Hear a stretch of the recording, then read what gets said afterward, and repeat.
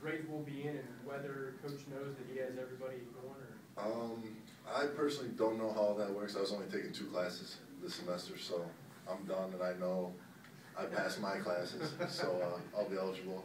But, uh, no, I'm not too sure when the exact time is for all that stuff. Are you guys worried about that though? Because Mike London, I mean, he preaches to us each week, I mean, academics, everything comes up every time. I, I, from what I know, I think everyone's doing their job on the team.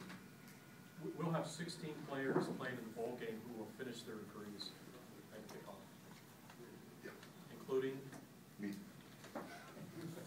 Matt, what does the all ACC selection mean for you? I mean, it's great. It's it's uh, it's not going to help me out on the field against Auburn. So uh, you know, it's it's a nice accolade to have, but you know, I still got to go out there and, and play my game. Matt, can you talk about being a part of the team for, in, in '07 with the, the Gator Bowl and, and kind of not being able to play, and uh, what that was like, and, and, and how much that motivated you to, at one point, get back to bowl? Well, um, redshirting that year, I got to watch guys like Chris Long, Branden Albert, um, Tom Santi work, and and really, you know, I guess see how they practice, and you know, we I guess we lost that a little bit in the in the past three four years, but uh, hopefully the young guys can see what it took to get to this point, and uh, you know, just just keep working.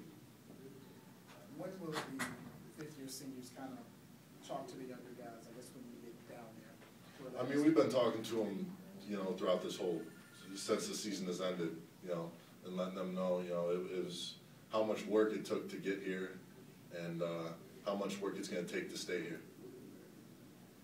From what your defense has done this year and from what you've seen of Auburn on film, what do you like about the matchup that you guys have against Auburn? Well, I mean, their offense line is big and physical, but I think we're, we're just as physical up front, our front seven, and, um, you know, I think, you know, the, the secondary, uh, I don't really look too much into that, but, you know, I think they'll be all right, and, uh, I think it's just gonna be a good game, and, and we're gonna have to play our best football. Anything else for Matt?